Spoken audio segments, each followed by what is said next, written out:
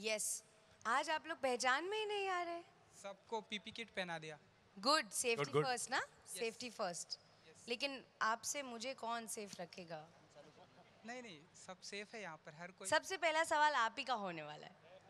हाँ normal question so different किरदार है आपका एंड डार्क शेड्स में हम आपको देख रहे हैं। फ़र्स्ट टाइम आई थिंक जितना मेरा नॉलेज है। सो so, कैसा रहा एक्सपीरियंस एंड अगर आप कुछ बता सके क्योंकि रिबू जी फ़र्स्ट टाइम आपके साथ में एसोसिएशन हो रहा है तो आपसे भी जानना चाहेंगे कि विथ परिणति जी के साथ कैसा रहा एक्सपीरियंस सो परिणति जी पहले आप जो डार्क शेड्स uh, ये काफ़ी डिफरेंट अंदाज में दिखाई दे रहा है अगर आप बता सकें। एक्चुअली आपके सवाल में मेरा जवाब है, क्योंकि ऑब्वियसली जिस तरह की फ़िल्में मैं करती आई हूँ और जिस तरह का के किरदार मुझे ऑफ़र भी होते थे और मैं खुद सिलेक्ट भी करती थी, मैं उसको ब्रेक करना चाहती थी, मैं उसको तोड़ना चाहती थी। I wanted to do something जिसमें मैं आप लोगों को सरप्राइज़ कर पाऊँ। यू नो लोग ये फ़िल्म देख के बोलें कि अरे, ये हमने पहले कभी देखा नहीं है।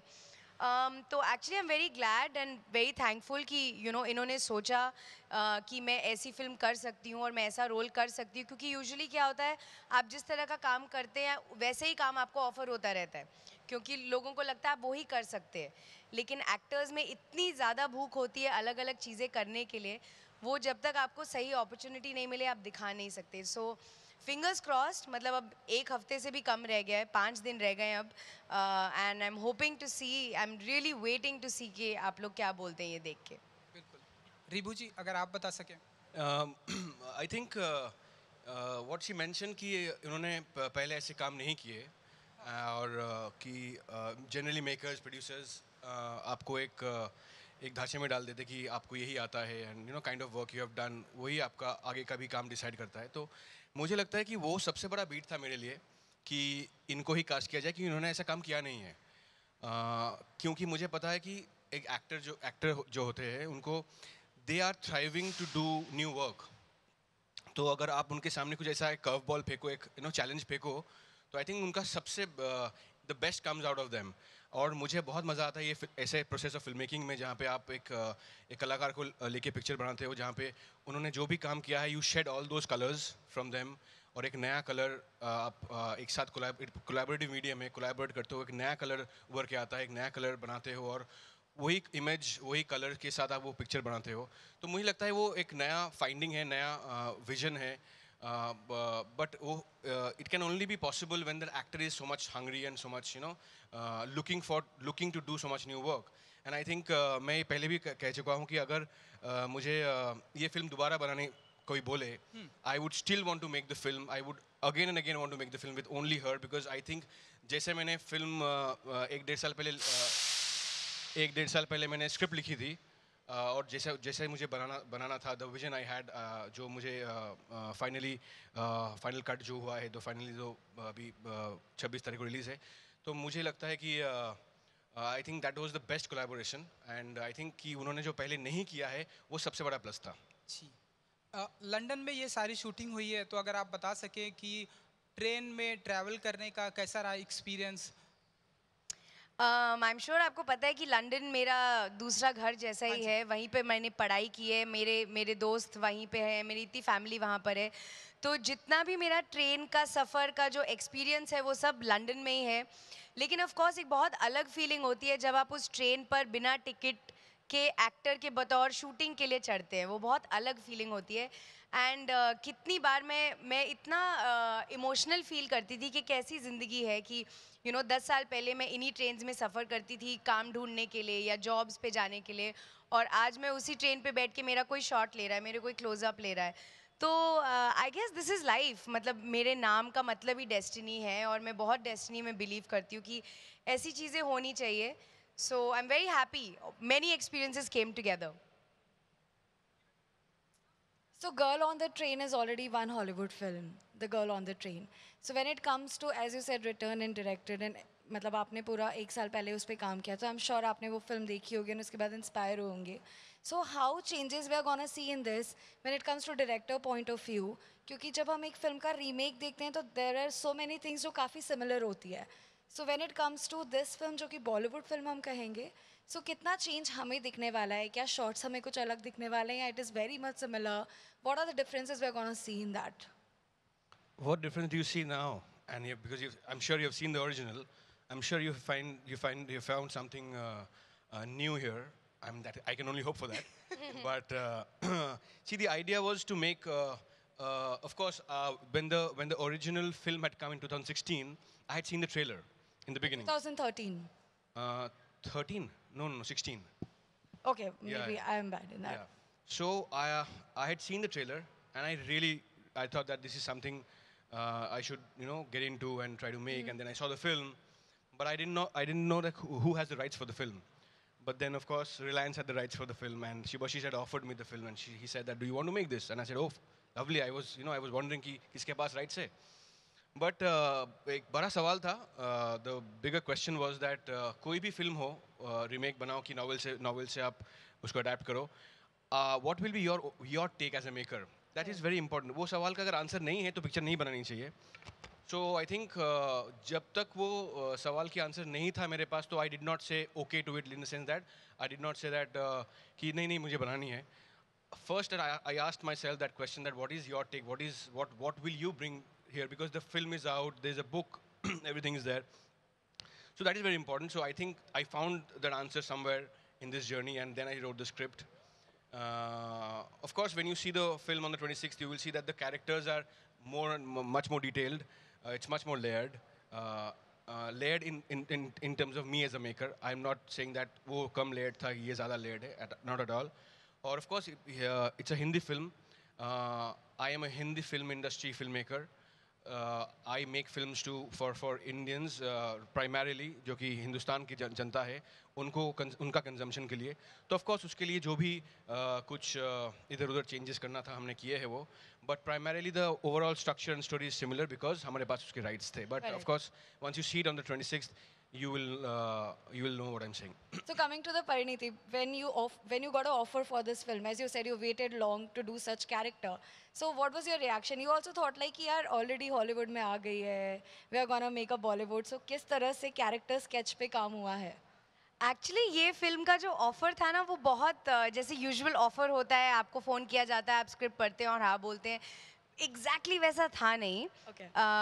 So basically what happened was मैं ऑलरेडी जिस तरह की फ़िल्में कर रही थी मैं दो तीन सालों से सोच रही थी कि मुझे कुछ अलग करना है यार मैं बोर हो रही हूँ मैं बोर से ज़्यादा बोर गलत वर्ड है मैं सैचुरेट हो रही थी। क्योंकि मुझे लग रहा था मैं कितना और अलग करूँ। अ, लेकिन वो आधी मेरी गलती भी थी क्योंकि मैं वैसे रोल सिलेक्ट भी कर रही थी। तो दो तीन सालों से मैं मैं सुन रही थी कि ऐसी एक फ़िल्म बन रही है गर्ल ऑन द ट्रेन और मैंने ऑब्वियसली किताब अ, मतलब मेरे घर में बहुत किताबें हैं मैं बहुत किताब पढ़ती हूँ। So this was one of them and मैंने सुना कि ये कहीं पे हो रही है। उस टाइम मैंने सुना कि इसकी कास्टिंग हो चुकी थी। तो मैंने कहा चलो अभी गई ये फ़िल्म मेरी हाथ नहीं है मैं कुछ और ढूंढती हूँ। फिर एक दो साल तक मैंने सोचा कोई शूटिंग की खबर नहीं है कोई ये फ़िल्म बन नहीं रही है इसको ज़रा दोबारा पूछा जाए। So I kind of reached out to them and said कि यू नो आप अगर ये फ़िल्म बना रहे हैं आपको लगता है कि मैं सही हूँ can I read the script and वहाँ से जवाब यह है कि अरे हम लोग भी आप ही को एक्चुअली कांटेक्ट करने वाले थे। तो सिमिलर टाइम पे आप इमेजिन कीजिए मतलब दो साल के गैप के बाद सिमिलर टाइम पे हम लोग एक दूसरे को कांटेक्ट कर रहे थे। सो लाइक आई सेड किस्मत एंड डेस्टिनी बहुत बड़ी चीज़ होती है। सो so, फाइनली मैंने ये फ़िल्म की and I think it was the best thing that No doubt, as we can see you in the film also, you're looking tremendously awesome.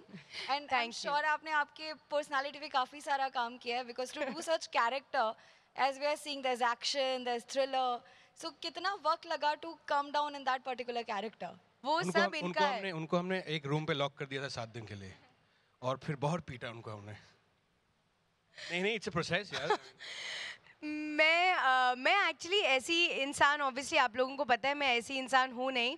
लेकिन इसलिए फ़िल्म करने में इतना मज़ा आया मुझे बिकॉज़ आई फेल्ट लाइक जब मैं एक सीन पढ़ती थी तो जो मेरा फ़र्स्ट इंस्टिंक्ट होता था ये सीन करने के लिए मैं उसको कैंसिल करती थी और मैं दूसरा कोई इंस्टिंक्ट ढूंढती थी यू you नो know, क्योंकि जो मेरा फ़र्स्ट इंस्टिंक्ट था I use to feel like it's very me and we always use to make this जो कि हमको अच्छी एक्टिंग नहीं देखनी, हमको नई एक्टिंग देखनी है। You know we want to see something new from you तो हमेशा मैं सोचती अच्छा ये लाइन मैं ऐसे बोलती हूँ, मैं उसको कैंसिल करके कुछ और ढूंढती थी। सो द प्रोसेस वॉज़ जब मैं शूट कर रही थी, हमारी बातें, हमारी discussions and we made it as we went लेकिन मैंने इस फ़िल्म के लिए बहुत होमवर्क किया है। आई रिमेंबर मैंने प्रोडक्शन को बोला था कि मेरे कमरे में लंदन में एक बहुत बड़ा मिरर लगा दो और उस मिरर के सामने मैं चलने की प्रैक्टिस और क्योंकि ऑब्वियसली आपने देखा अल्कोहलिज्म का है आ, और उसकी प्रैक्टिस मुझे ज़्यादा है नहीं।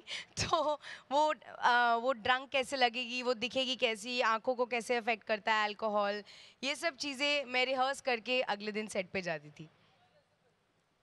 माइक का मिल रहा है इंडस्ट्री की तरफ़ से? इस ट्रेलर को लेके कुछ बताना चाहिए? आपके फ्रेंड्स कई सारे फ्रेंड्स हैं।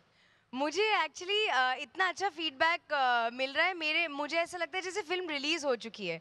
और फिर मुझे याद करना पड़ता है कि अभी एक हफ़्ता बाकी है, अभी फ़िल्म आनी बाकी है। बट ऑनेस्टली um, मैं इस बारे में भी बहुत मज़ाक करती हूँ कि जिस दिन हमने ट्रेलर रिलीज़ किया था उस दिन मुझे मेरा फ़ोन चार बार चार्ज करना पड़ा क्योंकि इतने फ़ोन्स और मैसेजेस पे मैं थी um, और ये मैं बहुत पॉजिटिवली बोल रही हूँ ऑब्वियसली कि I really I never received such a feedback I never received such a response जहाँ भी मैं जा रही हूँ लोग इस फ़िल्म के बारे में मुझे बोल रहे हैं सो so, हम लोग तो नर्वसनेस से मर रहे हैं ऑनेस्टली बट आई होप अभी बस पाँच दिन में यू you नो know, सब अच्छा जाए सब अच्छा जाए. Please pray for us so hello sir hello ma'am being an Indian adaptation why did you choose to not make the location of the shoot also Indian in India story behind it you know तो uh, uh, because इसके पहले वाली film मैंने कलकत्ता में बनाई थी तो अदिति राव अदिति राव हैदरी जो है हमारे यू नो दूसरे very important character she is playing तो अदिति का एक सजेशन था कि रिभु आप ये पिक्चर कलकत्ता में क्यों नहीं बनाते हो? बिकॉज़ इंडियन अडेप्टेशन है, कलकत्ता है, आपने कलकत्ता में शूटिंग किया है, पिछले पिक्चर पिछला फ़िल्म आपने बनाई है। तो मेरा एक ही एक ही आंसर था उसका, कि अगर वो कलकत्ता में बनाऊँगा तो वो गर्ल ऑन द ट्रेन नहीं होगा, वो गर्ल ऑन द ट्रैम हो जाएगा। तो मुझे लगा कि उतना धीरे से धीरे धीरे नो ट्रैम चलती है तो पिक्चर भी उतना ही स्लो हो जाएगा। नहीं नहीं ये जोक है ये जोक था। आ, ऐसे जोक्स हमें पूरे दिन सुनने पड़ते हैं। आप लोग तो बस आधे घंटे के लिए सुनने आए हो। सोचो हमारी हालत। एक्चुअली जो बुक है वो लंदन में बेस्ड है। जो फ़िल्म बनी थी एमिली ब्लांट के साथ वो न्यूयॉर्क में थी। तो मुझे I wanted to be true to the book तो इसीलिए लंदन और जब आपको पता है इनका दूसरा घर है लंदन में तो हमको लगा कि घर में भी रहेगी शूटिंग भी हो जाएगा। घर में रहेगी। बट ये लोग बहुत मज़ाक उड़ाते थे मेरा लंदन में क्योंकि मैं कहीं भी जाती थी तो वो लोग मुझे अगले दिन जैसे लोकेशन बताते थे कि अच्छा हम लोग यहाँ शूट करें। तो मैं बोलती थी अच्छा हाँ ये ना ये ना ये ना तो ये लोग बोलते थे कि तुम प्रोडक्शन ज्वाइन कर लो। या कि लोकेशन मैनेजर बन जाओ तुम एक्टिंग छोड़ दो इस फ़िल्म के लिए लंदन में आपको ट्यूब में ट्रैवल करने के लिए ना एक कार्ड लगता है उसका नाम है ऑयस्टर कार्ड हाँ। तो इनके अगर आप वॉलेट देखोगे ना क्रेडिट कार्ड नहीं मिलेंगे ऑयस्टर कार्ड बिल्कुल मिलेगा आपको Unfortunately, we are running out of time. We only hello have sir time for a, one hello last question. Actually मेरा सवाल ये है जिस तरह से the girl on the train एक अलग स्टोरी है एक अलग कॉन्सेप्ट है इसी तरह आने वाले समय में क्या आप किस तरह की स्टोरी पे काम करना चाहेंगे? आपके कुछ अपकमिंग प्रोजेक्ट जो आपने सोचा है जिस पे काम करने का ऐसा कुछ है आपके पास थिंक मैं आपको एक्चुअली एक बहुत ज़रूरी बात बोलना चाहती हूँ। मुझे ऐसा लगता है जेन्यूनली और हम इस बारे में बहुत मज़ाक भी करते हैं कि अम, इस फ़िल्म ने ना मुझे बदल दिया है। As a person as an as an actor क्योंकि मैं हमेशा से एक बहुत you know geeky student academic लड़की थी एंड मुझे टीचर से सवाल करना क्लास में टॉप करना, हर जगह यही मेरा सिस्टम था। और आपको पता है कि मैं पहले बैंकर थी एक्टर बनने से पहले। तो इस फ़िल्म पे ना मुझे वही प्रोसेस दोबारा मिला। एक टीचर एक स्टूडेंट होमवर्क कर रहा है। मुझे कभी भी ऐसा नहीं लगा कि मैं कोई हीरोइन हूँ और मैं सेट पे बस चार घंटे शूटिंग करके घर जा रही हूँ। You know it felt like कोई भी मीडियोकर टेक ओके नहीं होगा। मुझे डांट पड़ती थी जब मैं कुछ गड़बड़ करती थी जब अच्छा करती थी तो यू you नो know, मुझे ताली बजती थी। सो so, इट मुझे फाइनली इस फ़िल्म पे जाके लगा कि यस ऐसे मुझे काम करना था और ऐसी फ़िल्मों पे काम करना है। सो आई फील कि अभी मेरे जितने भी आगे के चॉइसेस होंगे जिस तरह की भी मैं फ़िल्में करूँगी जैसे ऑलरेडी मैंने साइना नेहवाल शूट की है अ, इसके बाद मैं एनिमल शूट करने जाऊँगी।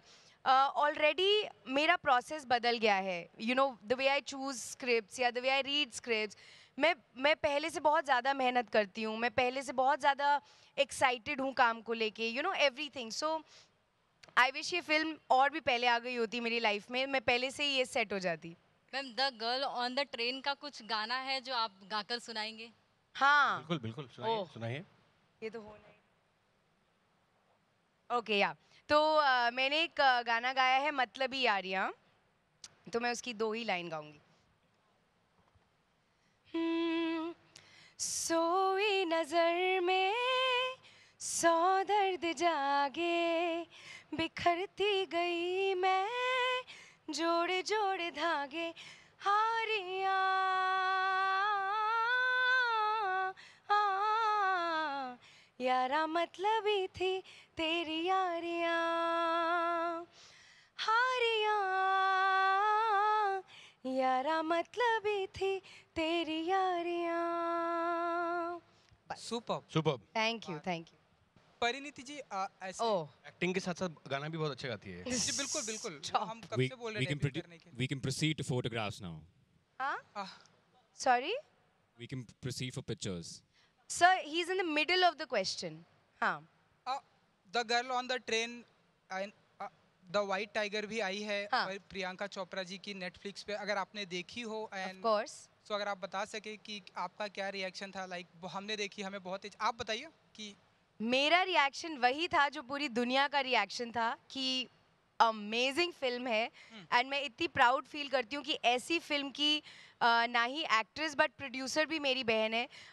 You know I keep saying this कि कुछ ही साल हुए उनको यू नो हॉलीवुड गए हुए और इतनी जल्दी उन्होंने जो सक्सेस पाया है, जिस तरह का वो काम कर रहे, कर रही है, जिस लोगों के साथ एसोसिएट हो रही है मतलब इट्स अमेजिंग कि वो जिस जिस तरह के हमारे लिए बेंचमार्क्स इंक्रीज करती रहती है। यू नो बॉलीवुड में जब वो आई, पहले मिस इंडिया बनी, फिर मिस मिस वर्ल्ड बनी, फिर यू नो यहाँ की टॉप एक्ट्रेस फिर वहाँ गई एज अ डेब्यूटान शुरू हुई and now she is reached you know somewhere you know, you need to at least let him listen to me. Yeah. Otherwise, who am I talking to? I'll finish, then you take the mic. दे दो भाई mic उसको. एक मेरा आखिरी सवाल दें Okay, let him just finish and then we'll switch the mic. Don't worry. Sir Ribhu sir आपसे भी क्योंकि ओ टी टी प्लेटफॉर्म पर अब ऐसी बातें चल रही हैं सेंसरशिप की बातें चल रही हैं आ, परिनीति जी आपसे भी जानना चाहेंगे कि ओ टी टी प्लेटफॉर्म पर सेंसरशिप की बातें चल रही हैं एंड गवर्नमेंट की तरफ़ से भी आया है कि ओ टी टी प्लेटफॉर्म पर रूल्स एंड रेगुलेशन होंगे। As an director as an actor आपका क्या पॉइंट ऑफ़ व्यू होता है? देन उसके बाद। सबसे पहले तो माइक दे दीजिए तभी आंसर मिलेगा आपको। उसको बस हार्ट अटैक होने ही वाला है बेचारी को वो रोने वाली है अब। ओके दे दिया उन्होंने माइक नहीं मैं जल्दी से बोलूँगी कि एक्चुअली हम हमेशा ये बोलते थे कि यू नो ओटीटी पे जिस तरह का हम कंटेंट लिखते हैं जिस तरह का यू you नो know, आता है ओटीटी पे हम कितना कुछ ज़्यादा मज़ा करते हैं और कितने डाइवर्स कैरेक्टर्स हम लिख पाते हैं।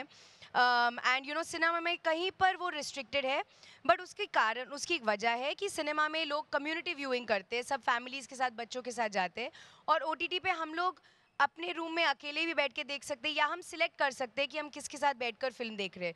तो वहाँ पे कंटेंट ज़्यादा गट्सी ज़्यादा वो हो सकता है। आई जस्ट होप ऐसा ही रहे क्योंकि यू नो सेंसरशिप आए ज़रूर बट आई होप कि जो OTT का मज़ा है वो जाए ना बस। अम, अम, मुझे लगता है कि सेंसरशिप uh, जो है देखिए government of India is figuring out कि कैसा सेंसरशिप होगा कि नहीं होगा। आई एम श्योर वहाँ पे बहुत ही सॉर्टेड लोग होंगे जो इसके बारे में डिसीज़न मेकिंग करेंगे। बट मुझे लगता है कि बिकॉज़ अभी इंटरनेट में सब कुछ अवेलेबल है सब कुछ ही है मतलब आपको कुछ भी देखना है आप इंटरनेट में देख सकते हो। तो अगर आपको कर्ब करना है कुछ भी तो सेंसरशिप ना करे उसको रेटिंग सिस्टम कर दे। So uh, that so uh, उनके लिए भी वो you know it will be good for them in the sense that they know that ये कंटेंट है ये दस साल के ऊपर के लोगों के लिए है या अठारह साल के ऊपर के लोगों के लिए है जो भी है। तो आई थिंक रेटिंग सिस्टम हो जाएगा uh, अगर होता है तो या कोई भी एनीथिंग अराउंड दैट तो आर्टिस्ट मेकर्स राइटर्स भी uh, एक तरफ़ uh, सोचेंगे कि नहीं हमारा क्रिएटिव फ्रीडम को कर्ब नहीं किया गया है और गवर्नमेंट से गवर्नमेंट की तरफ़ से भी जो भी ये डिसीज़न मेकिंग हो रहा है आई एम श्योर उनको भी लगेगा कि नहीं करेक्ट वे में ये हुआ है। So I think this is एक मिड ग्राउंड में आना पड़ेगा एंड आई थिंक वही प्रोसेस चल रहा है एंड आई थिंक कुछ कुछ महीने में सॉल्व हो जाएगा। परिणीति जैसे कि आप लंदन में लोकल ट्रे, ट्रेन में सफ़र करती रहेगी ट्रेनों में तो यहाँ पर तो आप अपनी लग्जरी कार में सफ़र करती हैं। तो कहीं ना कहीं इन दिनों बजट आपका बिगड़ा होगा पेट्रोल प्राइस हाइक से तो इस मुद्दे पर आप लोगों के क्या टेक है? What is your take on that metro में सफ़र करते हुए देख ऑफ़ कोर्स क्यों नहीं? मुझे बहुत अच्छा लगता है। मैं um, मेरे पास हमेशा से कार्स नहीं थी तो मैं मेट्रोज में और ट्रेन्स uh, में और uh, चल के भी मतलब मेरे कॉलेज डेज़ में मैं जाती थी so of course but yes मैं पेट्रोल हाइक पे कुछ नहीं बोलूँगी क्योंकि मुझे उसके बारे में नॉलेज नहीं है ज़्यादा।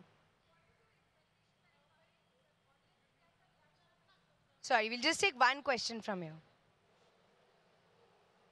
sorry sorry petrol hike के बारे में मुझे नहीं बोलना है। मुझे सिर्फ़ बोलना है कि मेरे I think everybody should start riding cycles तो सेहत के लिए भी सही रहेगा। तो कोई भी कंफ्यूजन नहीं रहेगा।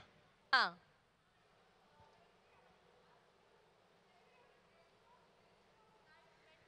Something like that. Have you ever dreamt of missing your train?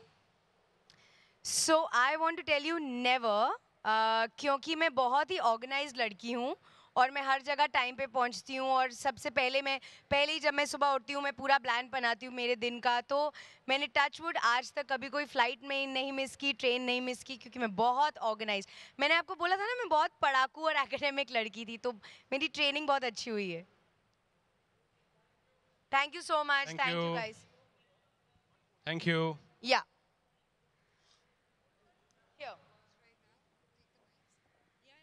thank you everyone यहाँ आने के लिए और इस इवेंट इस इवेंट को सक्सेसफुल बनाने के लिए। तो भूलिए मत the girl on the train releasing 26 February only on Netflix